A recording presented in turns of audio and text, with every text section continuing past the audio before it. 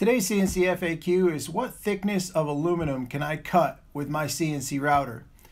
Well, the answer to that really is based on the cutter that you're using. Uh, every cutter has a specific uh, flute length, and that would be the maximum cutting capacity for that particular end mill. Now, when you're using a CNC router, specifically a desktop or, or hobby uh, grade router, it's important to remember that the CNC is not designed like a CNC mill would for taking aggressive, thick, fast cuts.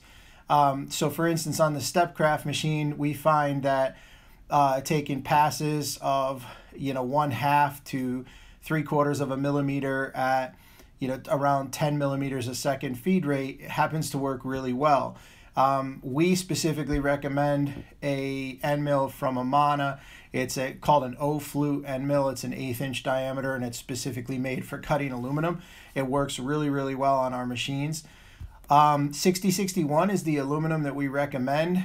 Uh, some of the other aluminums are like 5052 tends to be really soft and gummy. 7075 is a lot harder and, and it's, it's a little more difficult to machine. So you would have to go uh, less aggressive on your cutting pass. Now, the other thing to remember is if you're cutting a thicker piece of aluminum, the, the deeper you make the channel, the more chance there are for chips to fall inside that channel. So it's important to have some sort of chip removal. Uh, a vacuum usually doesn't work. We recommend using uh, compressed air, uh, like a flexible nozzle that you would connect to an air compressor to blow the chips out of the way.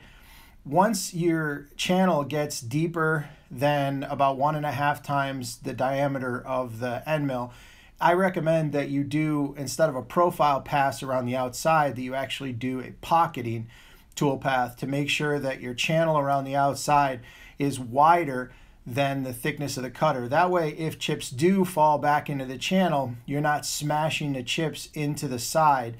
Uh, if your channel is the same width as the end mill, then there's no place for the chips to go when the end mill is spinning. So it smashes them into the side of the of the uh, part, and it ends up heating up the bit, which could end up with chatter. You can eventually break the bit uh, or you weld the aluminum uh, fragments to the end of the bit, thus ruining it. So I always recommend when you're going deeper than that to uh, run a pocket toolpath around the outside.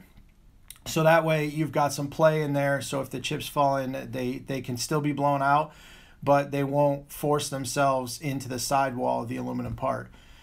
Aluminum's tricky. Uh, can be done with great success with the machines. You just got to have a little bit of patience and really pay attention to your feeds and speeds.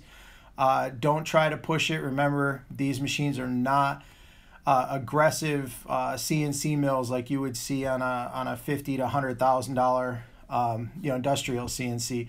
Uh, so you can get the job done. You just got to make sure that you have patience and that you take care to make sure that your settings are, are appropriate for your job.